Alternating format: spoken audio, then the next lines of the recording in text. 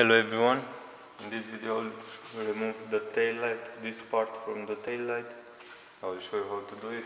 This is a Kia Ceed from 2015. Okay, you will have here on the interior, you will have two screws, cross type screws, one, two. I will remove it.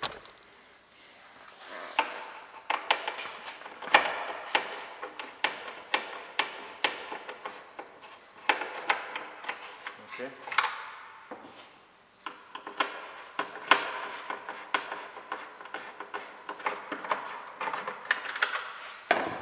Now the tricky part is that you must pull the tail light towards you like this, but a little bit of force if you have grease on your hand, you cannot do it because your hands will slide. Okay, let's do it.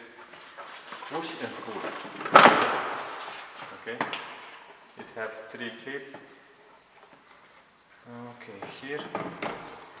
That's how it looks on the inside.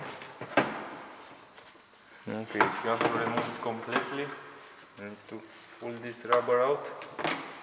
Okay, and here you will have this or clip push and pull push and pull. Wait a moment. It's not working properly.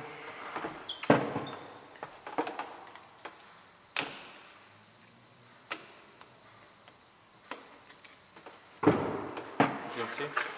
If you want to change your bulbs it's very easy you can see you have these caps turn it. And to put back the same.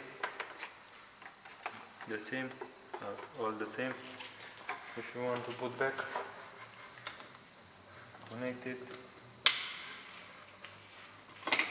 Put this inside put the rubber inside and push back in place.